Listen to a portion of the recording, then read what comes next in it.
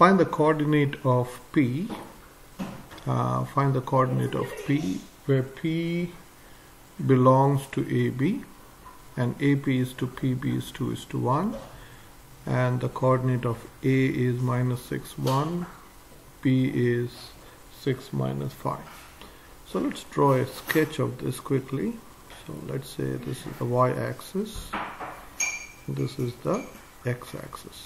So let's say this is minus 6 1 so this point is A which is minus 6 comma 1 and let's say this is 6 comma uh, minus 5 so 6 comma minus 5 is B.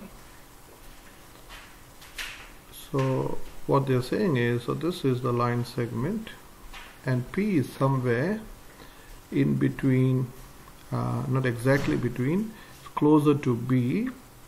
So how do I know? So P is somewhere here. And I let's say the coordinate of P is x comma y.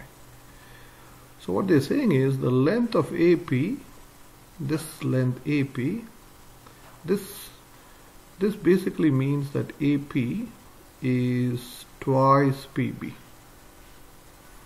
AP is twice PB or the length of AP is double this is 2 and this is 1 that's what it means. So so we, if this is M this length from P to B sorry if this is 2M if this is 2M this will be M. So let's rewrite that. So we are saying if A uh, okay. So let me go back. So we are saying if PB if PB is M I can say AP is equal to 2M okay so now we know the distance from A to B is AP so I can say well AB is AP plus PB so that so we can say a AB is 3am 3m sorry. So AB is 3m so let's take a ratio of AP on AB well AP is 2m and P, AB is 3m so this is going to be 2 on 3 so in other words I can say AP is 2 third of AB. Okay, so how does this help me? So let's first find AP using the distance formula. So we can say, well, uh, so we are finding the distance from A to B first. A to B, A to B. So well, using the distance formula, AB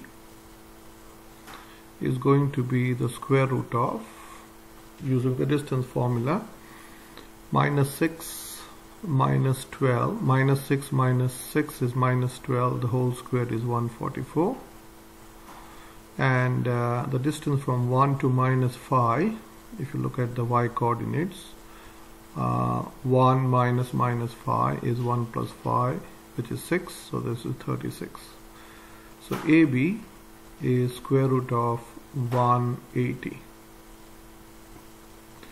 and square root of 80 180 is square root of 36 times square root of 5 so which is 6 root 5 okay so now we can say well so what is AP AP is going to be 2 on 3 times AB I'm going to use this result.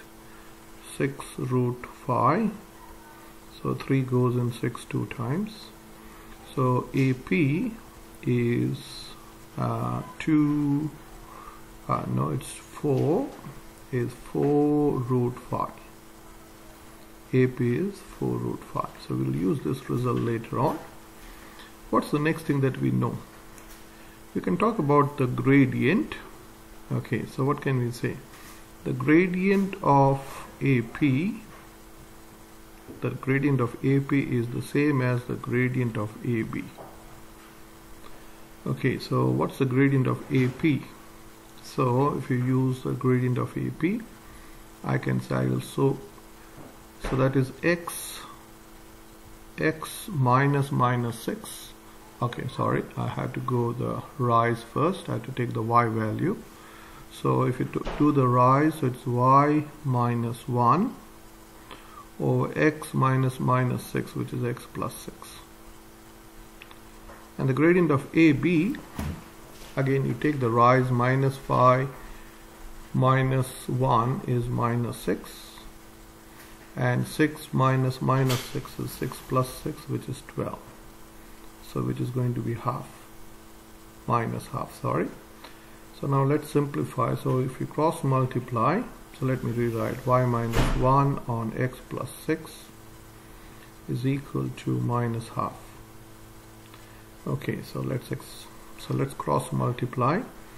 So I can say 2 times y minus 1 is equal to minus 1 times x plus 6 okay so you, I want to make x the subject.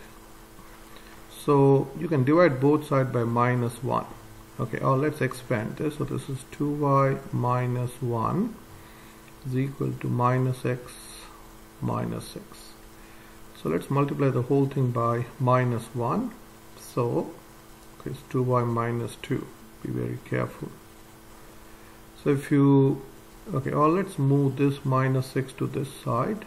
So uh, 2y minus 2 plus 6 is equal to minus x so minus x is 2y plus 4 but we want to make x the subject so x is equal to minus 2y minus 4 okay so we're going to use these two results this result and this result to find uh, what's the value of x and y.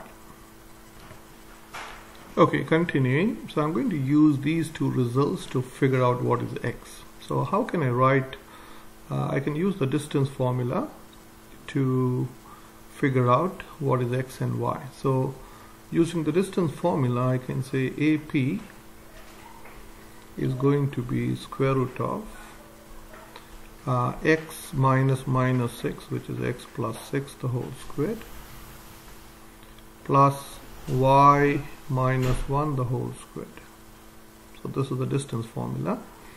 And I know that is going to be 4 root 5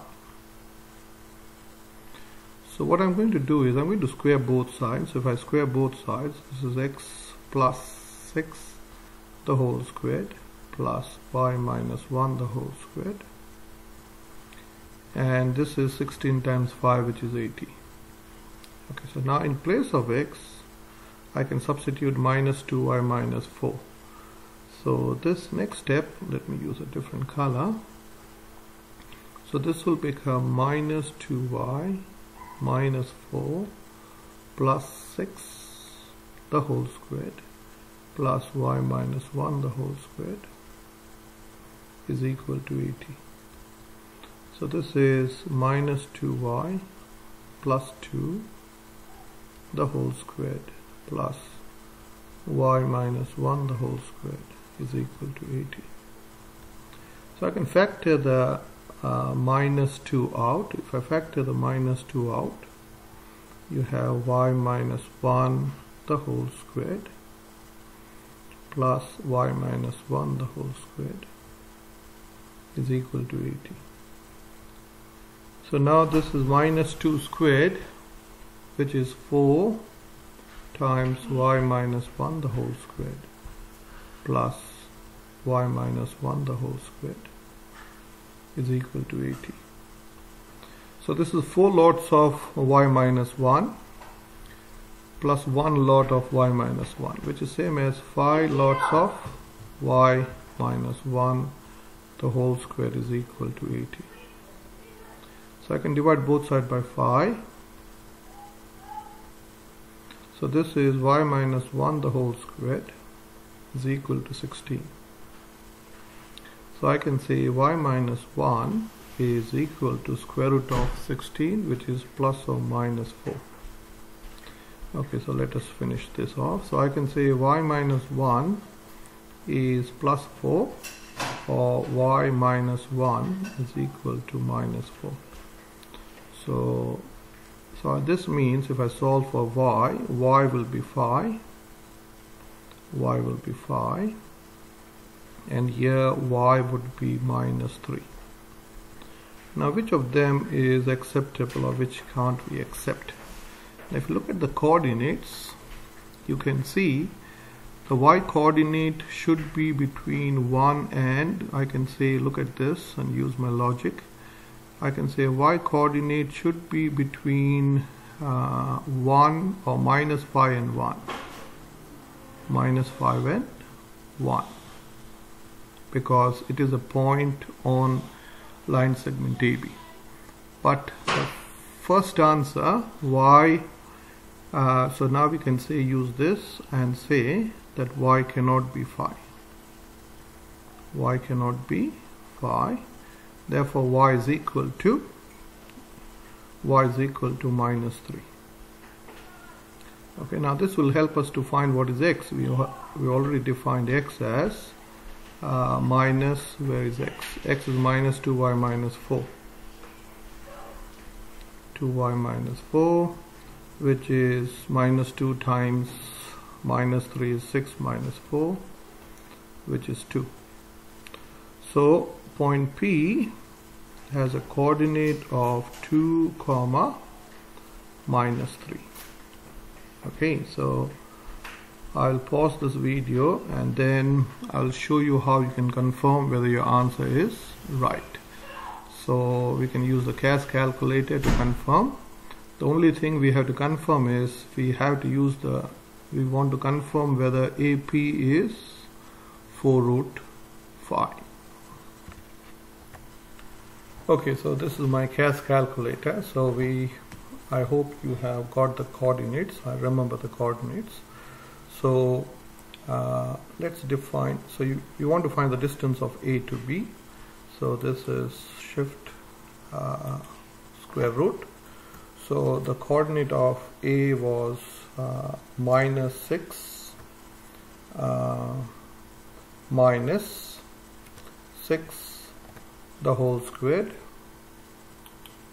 plus uh, what was the y coordinate? Y was 1 minus minus 5 squared. And present here so this is 6 root 5 okay? And the coordinate of p was uh, let's check that. The coordinate of p was 2 comma minus 3 okay so so let's go. So shift uh, so it was 6 so I can go 6 uh, minus 2 squared plus the y coordinate was no so this is minus 6 isn't it? So yeah this is the coordinate of a is minus 6 minus 2 the whole squared plus uh, 1 minus minus 3 squared. Let's see that should be present here which is 4 root 5 okay so AP is 4 root 5 and that's what we have confirmed. So AB was AB was 6 root 5 and AB is 4 root 5